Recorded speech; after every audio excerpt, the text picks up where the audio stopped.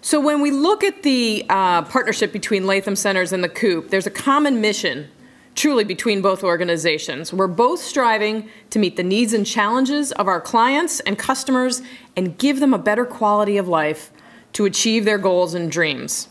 As a local bank, we believe, actually we know, it's part of our job to support the communities where we live and work. And as part of that support, we are thrilled to, to fund the Vocational Training Center at the new Latham Community Center, as Ann said, on the pathway to helping their students gain independence,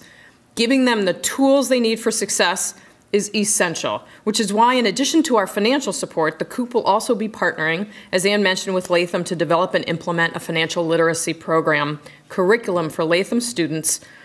Um,